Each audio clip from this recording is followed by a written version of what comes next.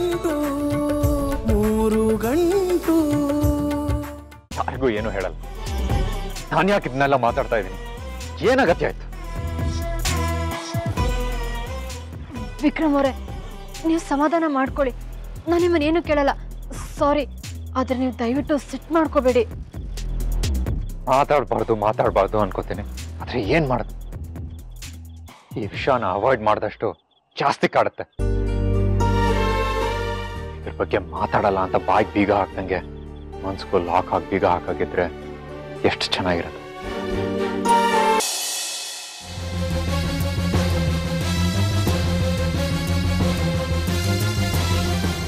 ಏನು? ನಾವು ದಿನಾಗ್ಲೂ ಮನೆನ ಗುಡ್ಸಿ ಒರೆಸಿ ಕ್ಲೀನ್ ಮಾಡೋದು ಯಾಕೆ ಹೇಳಿ? ನಾವು ದಿನ ಗುಡ್ಸಿ ಒರೆಸಿ ಕ್ಲೀನ್ ಮಾಡಿಲ್ಲ ಅಂದ್ರೆ ಸತ್ತೋಗ್ಬಿಡ್ತೀವ? ಇಲ್ಲ ಅಲ್ವಾ? ಅವತ್ತಿನ ಕಸ ಅವತ್ತೇ ಖಾಲಿ ಆಗ್ಲಿ. ಎಲ್ಲ ರಾಶಿ ಬಿದ್ದು ಕೊಳೆಯೋದ್ ಬೇಡ ಅಂತ ಕ್ಲೀನ್ ಮಾಡ್ತಿರ್ತಾನೆ ತಾನೆ? ಮನ್ಸು ಹಾಗೆ ವಿಕ್ರಮ್ ಅವರೇ. ಅಲ್ಲಿ ದಿನ ಒಂದಷ್ಟು ಕಸಗಳು ಹುಟ್ಟುತ್ತೆ. ಹಳೆ ನೋವುಗಳು ಹಳೆ ನೆನ್ಪುಗಳು ನಮ್ಮನ್ನ ಅವಾಗ ಅವಾಗ ಕಾಡ್ತಾ ಇರುತ್ತೆ. ನಾವದನ್ನ ಒತ್ತಿಡ್ದಷ್ಟು ಅವುಗಳು ಮೇಲ್ ಬರೋದಕ್ಕೆ ಟ್ರೈ ಮಾಡ್ತಾ ಇರುತ್ತೆ.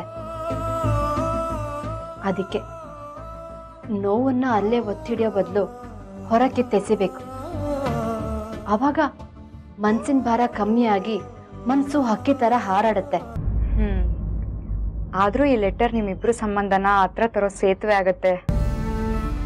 ಅವ್ರ ಎದೆಲಿರೋ ನೋವೇನು ಅಂತ ಅರ್ಥ ಆದ್ರೆ ಔಷಧಿ ಹಚ್ಚೋ ಕೆಲಸ ಏನ್ ಕಷ್ಟ ಆಗಲ್ಲ ಅಲ್ವಾ? ಅದು ನಿಜಾನೇ ಕಣೆ. ಬ- ಶಮಿ ನಾನು ನಿನಗೆ ಆಮೇಲೆ ಕಾಲ್ ಮಾಡ್ತೀನಿ. ದೊಡ್ಡದಕ್ಕೆ ಬರ್ತಾ ಇದಾರೆ. ಬಾಯ್ ಬೇಗ. ಮಾಡ್ಸಪ್ಪ. ಅರ್ಚಕ್ರೆ? ಓಹೋ ಏನಮ್ಮ?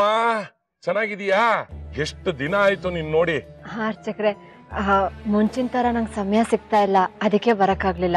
ಓ ಸರಿ ಸರಿ. ಅಂದ್ಹಾಗೆ ನೀನ್ ಆರಾಮ್ ತಾನೇ ಈಗ? ಹಾ ಅರ್ಚಕ್ರೆ. ಎಲ್ಲ ಆರಾಮ್. ನಿಮ್ ಹತ್ರ ಒಂದ್ ವಿಷಯ ಕೇಳ್ಬೇಕಾಗಿತ್ತು.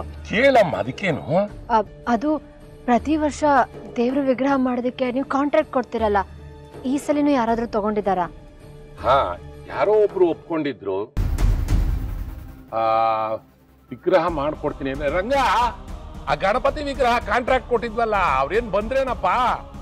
ಆ, ಇಲ್ಲ ಅರ್ಚಕ್ರೆ ಇಷ್ಟೊತ್ತಾಗಲೇ ಬರ್ಬೇಕಾಗಿತ್ತು ಇನ್ನೂ ಬಂದಿಲ್ಲ.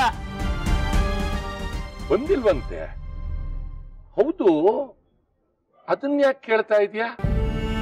ಅದರಿಂದ ನಿನಗೇನಾಗ್ಬೇಕಾಗಿತ್ತು?